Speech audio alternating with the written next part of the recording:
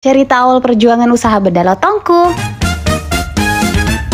Tak, beda yang di, jangan lupa follow. Benar-benar ya, kita tuh hidup tidak ada jalan yang mulus sesuai harapan atau sesuai omongan. Masing-masing punya kesulitan cerita kehidupan berbeda-beda. Dari awal memulai usaha bedalotong ini sulit, banyak gagalnya. Bukan pernah hampir nyerah, tapi pernah nyerah. Nekat hanya bermodal bismillah. Dari pinjam tungku, pinjam beras, bermodal pinjam dulu 100 dan akhirnya gagal. Berakhir gagal kan namanya usaha, perjuangan ya. Kemungkinan terbesar jatuh dulu kan. Ya, bedalotong yang awal aku bikin tuh gagal kayak gini. Nggak bisa diapa-apain lagi, sedih banget. Ini tuh hangus, nggak bisa jadi lulur lagi. Ternyata nggak semudah yang aku Semuanya punya teknik dari tingkat kematangan sehingga bisa berubah menjadi lulur sempurna. Sumpah, cara buatnya pun susah apalagi harus berurusan dengan asap, panas, tenaga. Dan di situlah aku menyerah karena ada-ada saja masalah yang datang. Hmm. Tahu nggak? Karena aku full support dari kalian, aku bangkit lagi karena aku buat usaha ini semata karena keluarga dan orang-orang yang membutuhkan aku. Aku kembali mencoba dan akhirnya terjadilah kun fayakun itu. Aku juga niatnya untuk berbagi manfaat dan memperbaiki kualitas beda lotong sesuai turun temurun. Pas aku mulai branding, alhamdulillah banyak yang support, banyak yang beli dan orang-orang yang tahu kualitas beda lotong bermunculan. Happy banget sampai aku pun kewalahan karena orderan sedikit-sedikit nambah karyawan. Ya, aku emang pengen berguna aja gitu buat orang-orang yang membutuhkan itu saja sih. By the way, lagi-lagi terima kasih banyak energi positifnya ya teman-teman. Kalian tahu nggak nge-like, komen, follow atau salah satunya itu sangat berarti buat kami. Aku doain kalian sehat-sehat terus ya. Amin.